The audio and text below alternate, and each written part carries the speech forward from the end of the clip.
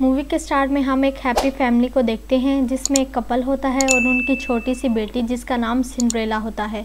वो सब ही बहुत अच्छा टाइम गुजारते हैं, उनमें काफ़ी ज़्यादा प्यार होता है।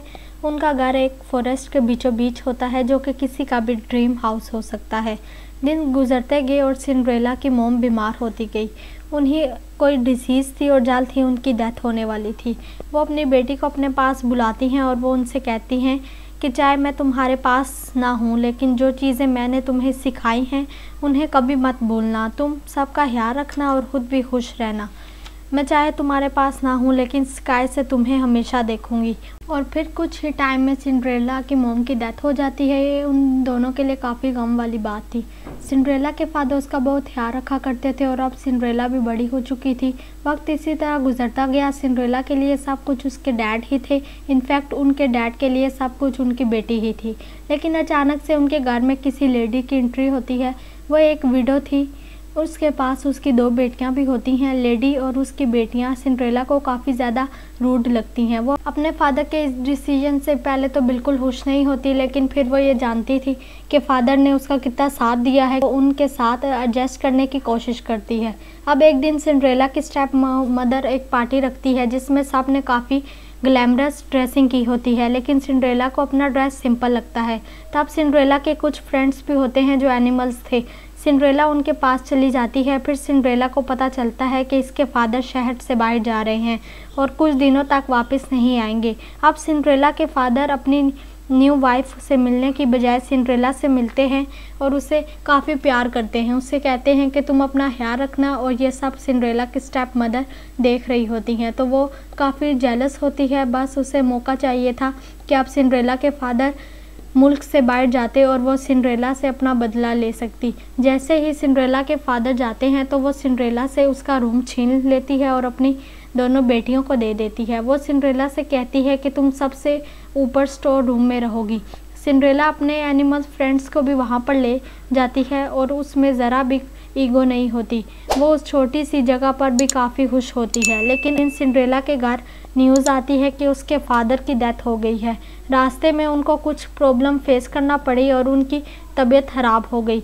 सिंड्रेला फिर ये सुनकर काफ़ी ज़्यादा शौक हो जाती है और उदास हो जाती है कि अब उसकी स्टेप मोम का बिहेवियर उसके साथ और भी बुरा होने वाला है, लेकिन स्टेप मोम के दिल पर ज़्यादा असर नहीं होता। वो तो बल्कि खुश हो जाती है कि वो इतने बड़े घर पर रूल करने वाली है और जो चाहे कर सकेगी, क्योंकि उसने सिंड्रेला के फादर से इसीलिए शादी की होती है कि अब उस पर उसकी स्टेप मदर और उनकी बेटियाँ रूल करेंगी। जैसे ही दिन गुजरते हैं, सिंड्रेला पर जुल्म बढ़ते जाते हैं और सारे घर से सर्वेंट को निकाल कर पूरे घर की रिस्पॉन्सिबिलिटी सिंड्रेला को दे दी जाती है। सिंड्रेला हर काम किया करती थी इवन बर्तन धोना, कपड़े धोना, घर की सफ़ाई करना पर उसके साथ क्या होता था कि उसे फ्रेश खाना तक ना मिलता था। सर्दी बढ़ती जा रही थी और सिंड्रेला को सबसे ऊपर वाला स्टोर में बहुत ज़्यादा सर्दी लगती थी। वो सोचती है कि क्यों ना मैं किचन में ही सो जाया करूँ एटलीस्ट वहाँ पर आग तो जलती है। एक दिन सिंड्रेला अपने घोड़े पर जंगल में जाती है। उसका घोड़ा अपना कंट्रोल खो देता है और काफ़ी तेज़ी से भागने लगता है।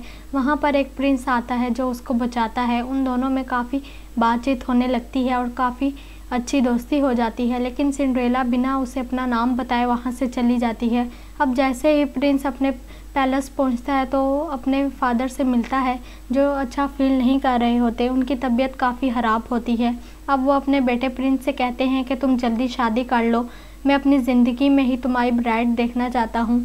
तो प्रिंस अपने फादर से कहता है कि, ठीक है, जैसे आप कहें। अब किंग कहता है कि, एक इवेंट रखेंगे। तो प्रिंस कहता है कि हाँ क्यों नहीं?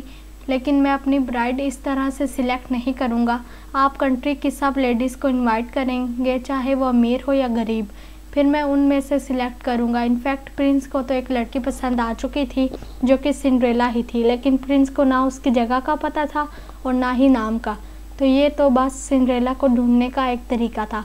जब सब लेडीज़ को इनवाइट करके अब इवेंट की डेट अनाउंस की जाती है और आप सिंड्रेला भी इस अनाउंसमेंट को सुन लेती है। वो काफ़ी एक्साइटेड होती है कि वो घर जाती है और वो अपनी स्टेप मदर को इसके बारे में बताती है, लेकिन उसकी स्टेप मदर उसे इग्नोर करके अपनी दोनों बेटियों को तैयार होने का कहती हैं, क्योंकि वो बहुत ज़्यादा लालची औरत थी। वो अपनी बेटियों को ही प्रिंस के साथ देखना चाहती थी। वो ये बात सिंड्रेला को बहुत बुरी लगती है। जब सिंड्रेला देखती है कि उसे इस इवेंट पर लेकर नहीं जाया जाएगा और ना ही उसके पास कोई ड्रेस है। वो ऊपर अपने रूम में जाती है और अपने एनिमल फ्रेंड के साथ मिलकर अपने लिए एक ड्रेस बनाती है। सिंड्रेला ड्रेस पहनकर नीचे आती है तो उसकी मदर बहुत जैलेंस होती है और उसका ड्रेस फाड़ देती है। बाहर एक पौन के पास बैठकर सिंड्रेला रोने लगती है। जब वो बैकयार्ड में जाती है तो वहाँ उसे एक बूढ़ी औरत मिलती है और वो बूढ़ी औरत अचानक से एक खूबसूरत लेडी में बदल जाती है। वो सिंड्रेला से कहती है कि, उदास नहीं हो, मैं तुम्हारी फेरी गोड मदर हूँ और तुम्हारी हेल्प करूँगी। वहाँ पर फेरी अपने मैजिक से चीज़ों को चेंज करने लगती है और पम्पकिन को एक कैरिज में बदल देती है, जिसमें बैठकर सिंड्रेला वहाँ तक जाने वाली थी और साथ ही साथ उसके पेट एनिमल को उसके सर्वेंट बना देती है। अब बारी थी सिंड्रेला के ड्रेस की तो वो फेरी उसके ड्रेस को भी बहुत ज़्यादा प्यारा बना देती है। आइस ब्लू कलर का और उसको पहनने के लिए क्रिस्टल शूज़ देती है, जो कि ऑब्वियसली शीशे के बने होते हैं। फिर फेरी उस पर कोई स्पेल कॉस्ट करती है। इसके बाद उसकी स्टेप मदर और सिस्टर्स उसको पहचान नहीं सकेंगी। आप सिंड्रेला उस कैरिज में बैठकर कास्ट के लिए जाती है। कस्टल में इवेंट स्टार्ट हो चुका था। सिंड्रेला जब वहाँ पर जाती है तो वो बहुत खुश होती है। और रही बात प्रिंस की तो वो तो उसे देखकर और खुश हो रहा होता है क्योंकि उसका ही इंतज़ार कर रहा था। कस्टल में जब जितने भी लोग होते हैं वो सब के सब सिंड्रेला को ही देखने लगते हैं। प्रिंस सिंड्रेला को आगे बुलाता है, फिर वो दोनों मिलकर डांस करते हैं। सिंड्रेला की स्टेप मदर और सिस्टर उसे पहचान नहीं रही होती क्योंकि फेरी ने मैजिक ही ऐसा किया होता है और वो डांस करते करते किसी अलग जगह पर आ जाते हैं। वो वो गार्डन बहुत ही प्यारा होता है और उसके एक स्विंग भी होती है। प्रिंस सिंड्रेला को खुद स्विंग पर बिठाता है और उसे झुलाने लगता है, लेकिन सिंड्रेला का शू उतर जाता है। प्रिंस उसे वो शू खुद पहनाता है और उससे कहता है कि क्या तुम कोई प्रिंसेस तो नहीं हो? इससे पहले कि सिंड्रेला कुछ बोल पाती, वो उसे याद आता है कि बारह बजने वाले हैं। फेरी गॉड मदर ने जो उसे इतना ब्यूटीफुल बनाया है, वो बारह बजे के बाद अपने असली कपड़ों में आ जाएगी। सब कुछ पहले जैसा हो जाएगा तो वो प्रिंस से बिना कुछ कहे ही वहाँ से भाग जाती है। जब वो बाहर आती है तो कस्टल के अंदर उसे किंग मिलता है तो सिंड्रेला किंग से कहती है कि आपका बेटा बहुत अच्छा पर्सन है, बहुत अच्छा इंसान है। वो किंग भी उससे, बहुत अच्छे से बात करता है, लेकिन वो ज़्यादा बात नहीं कर पाता क्योंकि सिंड्रेला वहाँ से चली जाती है और सब के सब सोचते ही रह जाते हैं कि ये लड़की कौन थी और कहाँ से आई थी।